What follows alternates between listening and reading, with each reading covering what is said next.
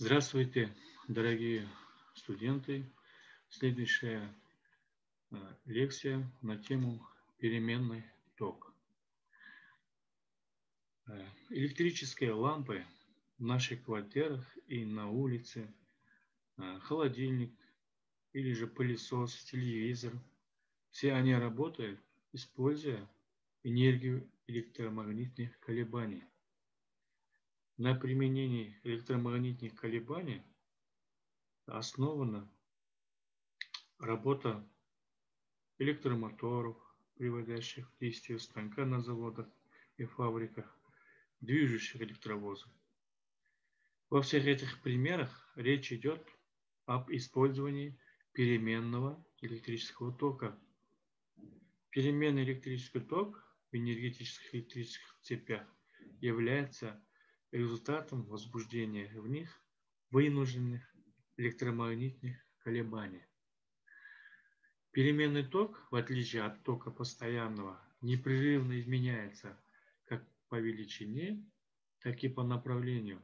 И причем изменения эти происходят периодически, то есть точно повторяются через равные промежутки времени. Чтобы вызвать в цепи такой ток используется источник переменного тока, создающий переменную электродвижущую силу, периодически изменяющуюся по величине и направлению. Такие источники называются генераторами переменного тока. Вот, на рисунке 1, на рисунке 1, вот рисунок у нас один, Э, это схема простейшего генератора переменного тока. Прямоугольная рамка, вот как мы видим, прямоугольная рамка, изготовленная из медной проволоки, укреплена на оси при помощи э, ременного э, вот, при, вот, при помощи ременной передачи вращается поле магнита. Вот тут мы видим магнит, да? Южный полюс, северный полюс. Концы рамки припаяны к медным контактным кольцам, э, которые, вращаясь вместе с рамкой, э, скользят по контактным пластинам. То есть так называемые щетка. Вот они стоят. Э, убедимся в том, что такое устройство действительно является источником переменной электродвижущей силы. А как вы заметили, у нас есть, здесь стоит измерительный прибор. Предположим, что магнит создает между своими полюсами равномерное магнитное поле. То есть такое, в котором плотность магнитных силовых линий в любой части поля одинаковая. Вращаясь, рамка пересекает силовые линии магнитного поля, и в каждой из ее сторон, вот А и Б, индуктируется электродвижущая сила. Стороны же В, Г э, рамкой нерабочие, вот, вот эти стороны ваги, так как при вращении рамки они не пересекают силовыми, э, силовых линий магнитного поля и, следовательно, не участвует в создании электродвижущей силы. А, в любой момент времени электродвижущей силы, возникающая в стороне А, противоположно по направлению электродвижущей силы, возникающей в стороне Б. Но в рамке обе электродвижущие силы действуют согласно и в сумме составляют общую электродвижущую силу. То есть индуктируемые все рамкой. Вот, да? В этом нетрудно убедиться, если использовать для определения направления электродвижущей силы э, известно нам правило правой руки. Мы со школы помним, да, правило правой руки. Для этого надо ладонь, ладонь правой руки расположить так, чтобы она была обращена в сторону северного полюса магнита, а большой отогнутый палец совпадал с направлением движения той стороны рамки, в которой мы хотим определить направление электродвижущейся силы. Тогда направление электродвижущей силы в ней укажут вытянутые пальцы руки. Для какого положения рамки мы не определяли направление электродвижущейся силы в сторонах э, А и Б, вот, в сторонах А и Б, э, они всегда складываются и образуют общую электродвижущую силу в рамке. При этом с каждым оборотом рамки направление общей электродвижущей силы изменяется в ней на обратное, так как каждая из рабочих сторон рамки за один оборот проходит под разными полюсами магнита. Величина электродвижущей силы, индуктируемой в рамке, также изменяется, так как изменяется скорость, с которой стороны рамки пересекают силовые линии магнитного поля. Действительно, в то время, когда рамка подходит к своему вертикальному положению и проходит его, скорость пересечения силовых линий стороны рамки бывает наибольшей, и в рамке индуктируется наибольшая электродвижущаяся сила. Те моменты времени, когда рамка проходит свое горизонтальное положение, ее стороны как бы скользят вдоль магнитных силовых линий, не пересекая их, и электродвижущая сила не индуктируется.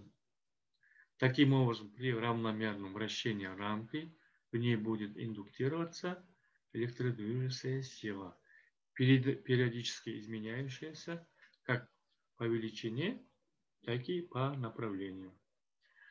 Электродвижущие силы, возникающие в рамке, можно измерить прибором,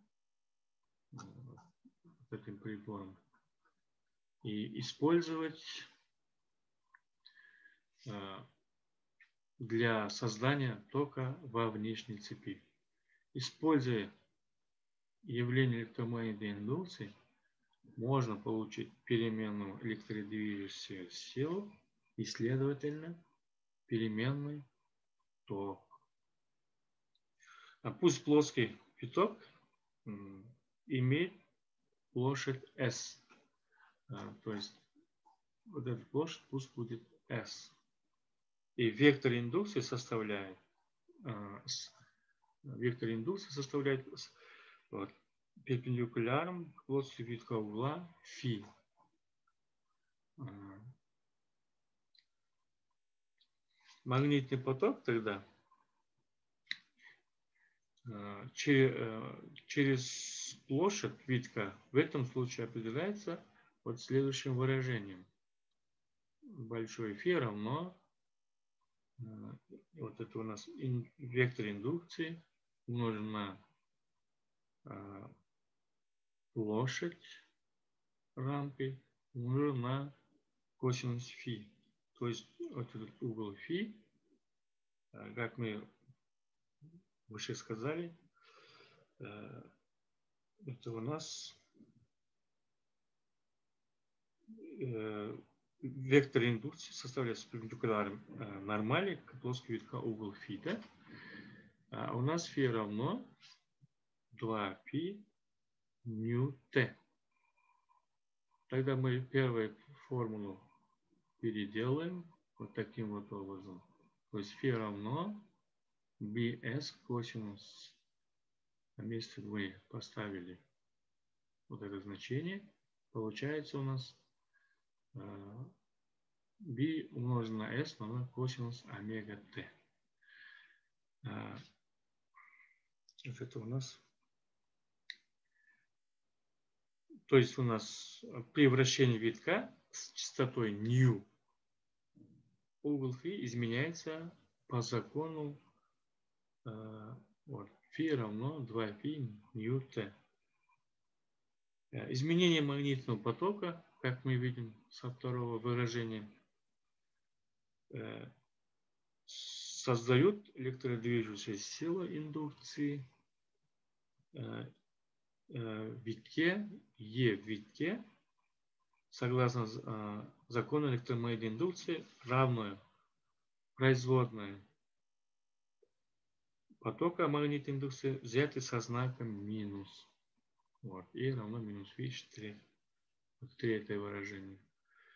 Следовательно, э, изменение электродвижущей силы индукции по, со временем будут происходить по гармоническому закону. То есть E равно BS косинус, э, а, то есть синус омега Т гармонического закона, да? Вот четвертое выражение. Если с помощью контактных колес и скользящих по ним счетах соединить концы витка с электрической цепью, то под действием этой электрической силы индукции электрические цепи возникнут вынужденные гармонические колебания силы тока, переменный ток. То есть а, вот так и мы получим переменный ток. Да? А переменный ток для промышленных целей и для освещения вырабатывается мощными генераторами, так называемыми генераторами, да, проводимыми во вращение паровыми или водяными турбинами и двигателями внутреннего сгорания. В машинах, а, генераторах переменного тока вот, ну, простой генератор. Да? Э, магнитное поле обычно создается электромагнитом, питаемым постоянным током, а допустимая сила тока ограничивается нагреванием скользящих контактов щеток. Поэтому в генераторах переменного тока э, большой мощности электромагнит является ротор. Вот у нас ротор. Так, то есть вращающей частью машины. При вращении ротора возникает переменная электродвижущая сила индукции в обмотках, а, расположенных в неподвижной части генератора, то есть в статоре. Вот, статоре. Для увеличения электродвижущей силы индукции используется обмотка статора с большим а, числом витков. Для увеличения магнитного потока эту обмотку наматывают на стальной сердечник а, и зазор между сердечниками статора и ротора делают как можно меньше. Если внутреннее сопротивление источника тока, то есть сопротивление провода в обмотке статора значительно меньше сопротивления внешней электрической цепи, то направление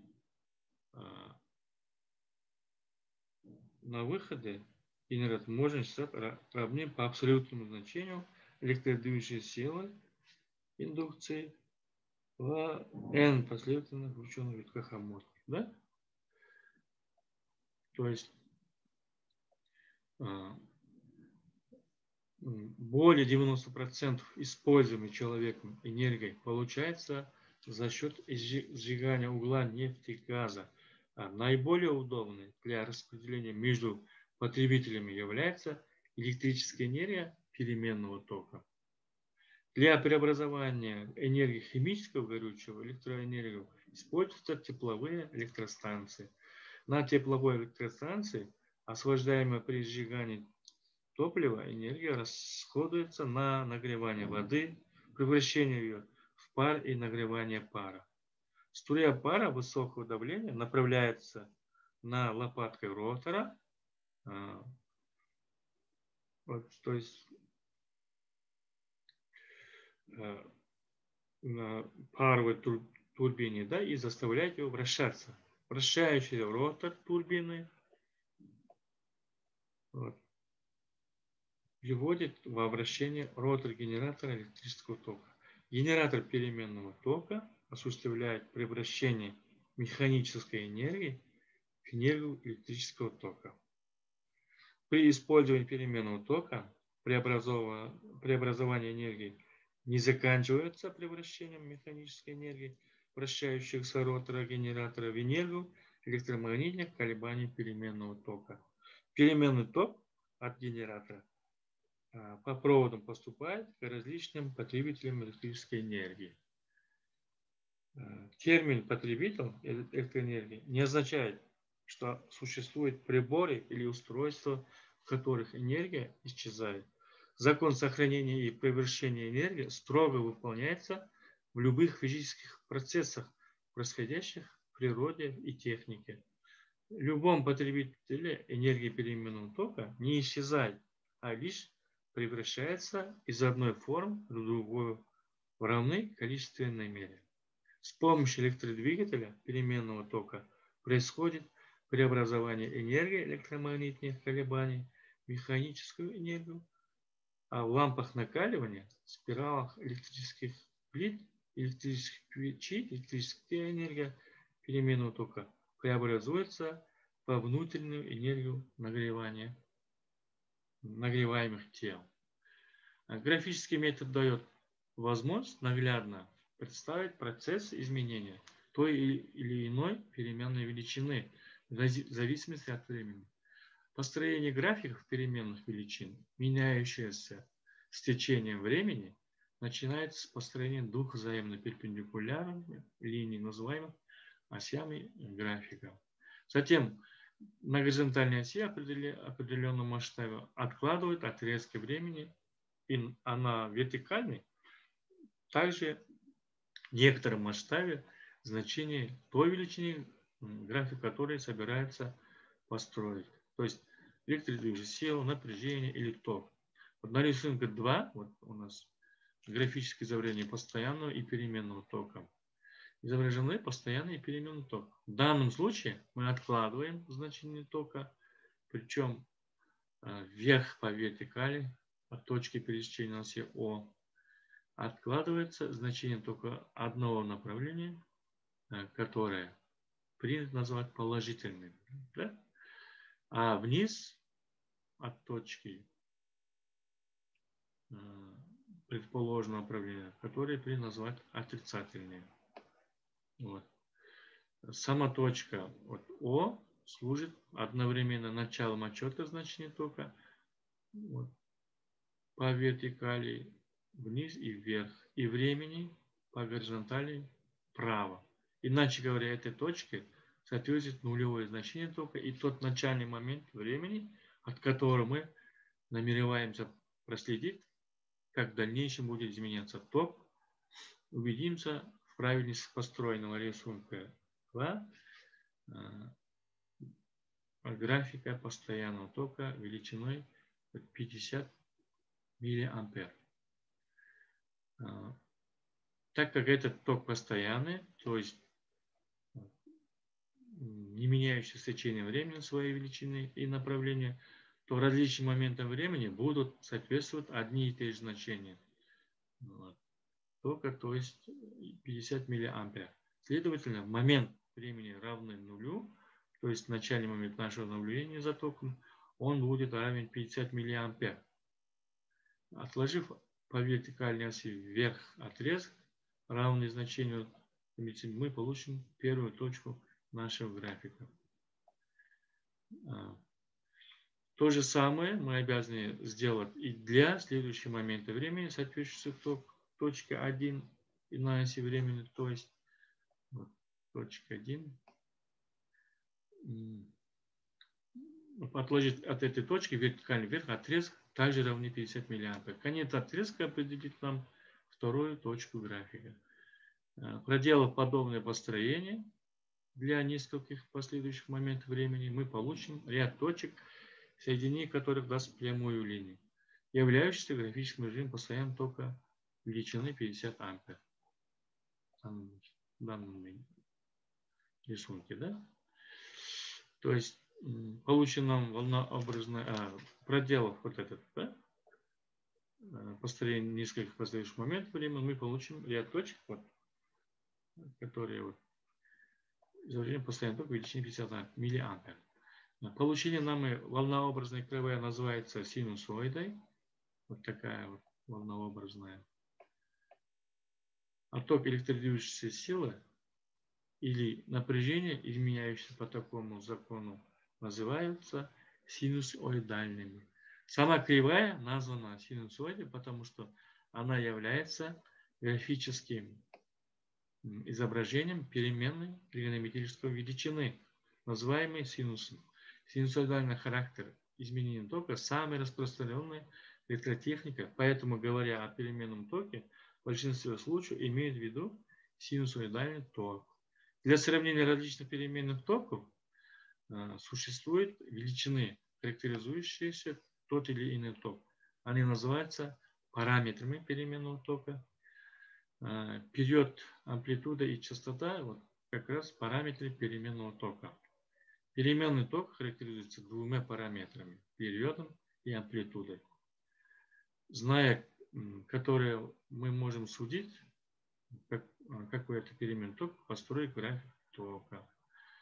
Кривая синусоидального тока. Промежуток времени, на протяжении которого э, совершается полный цикл изменения тока, называется периодом. Вот, полный цикл. Период означается буквой Т и измеряется в секундах. А промежуток времени, на протяжении которого совершается половина полного цикла изменения тока, называется полупериодом. Вот, то есть вот половина. Да?